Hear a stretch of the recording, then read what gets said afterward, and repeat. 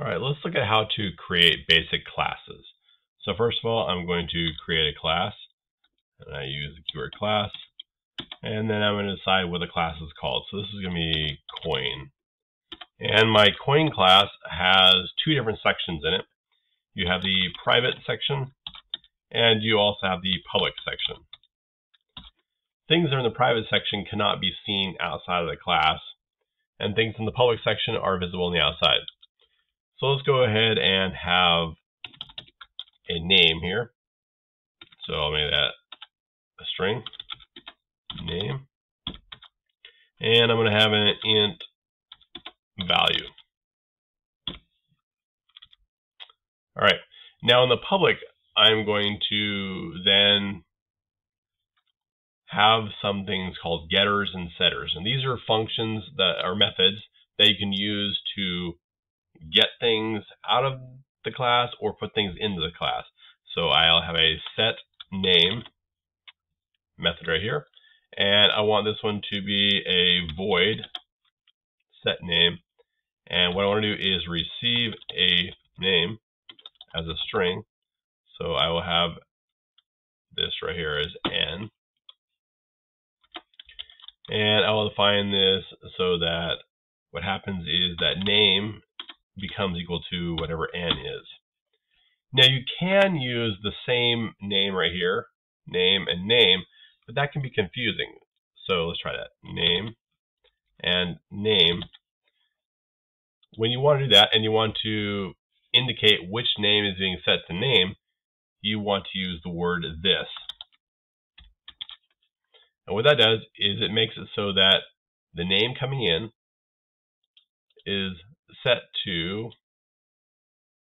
the name inside of the class. So this name, this class's name, or this object.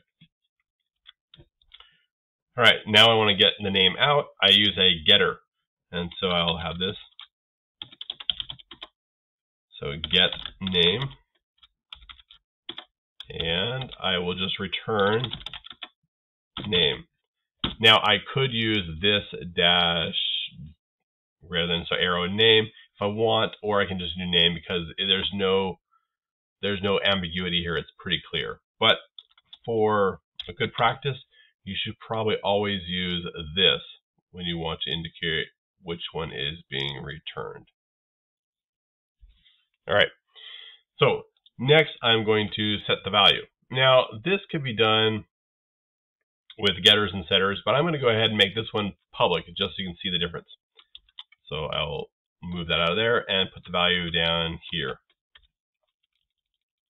Now in my function, in my main function where I create everything, I'm going to go ahead and create two copies. I'm going to create one that's an actual class object and one that's going to be a pointer to a class object. So I will have this coin and I'll call this one uh, penny and that's it. It's created. Now I've got another coin, and I'm going to use a star for pointer, and I'll call this one dime. And I'm going to set equal to a new coin. So now they're both been created. And then we can see the difference in how we talk to each one of them. So I'm going to go ahead and set the names with these. So my penny, I can use the dot and set name, and I pass a string penny in capital, so you can see it's a little bit different than the variable name.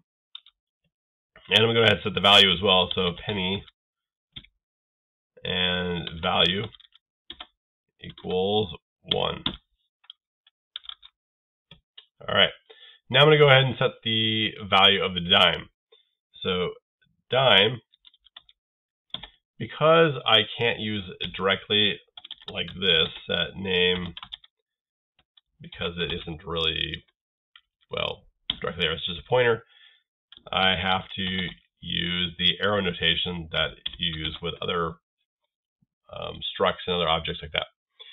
And then for the value, I can do dime and arrow notation, notation, notation again. And value is set to 10. If I want to get the values out, I can use the getter or directly using the variable as well for the value. So I will go ahead and set this one right here. So penny get name to get the value out.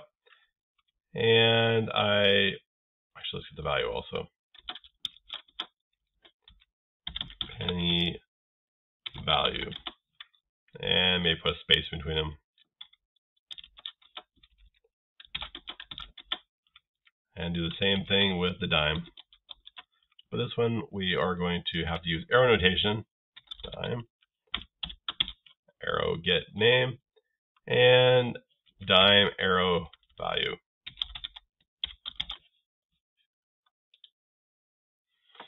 So I hope that helps in seeing how to talk to these classes. I'll go ahead and run it now. And run it, you can see penny 1, dime 10. Now, if I would have tried something else like uh, get my name directly, so penny name equals something, it doesn't work because it can't see it because this is a private member and you cannot address it directly. You can only address public members. And the same thing, if I would have put the function or the method call inside of the private section, it would have been unaccessible. You couldn't have used it. So this is your basic introduction to making classes.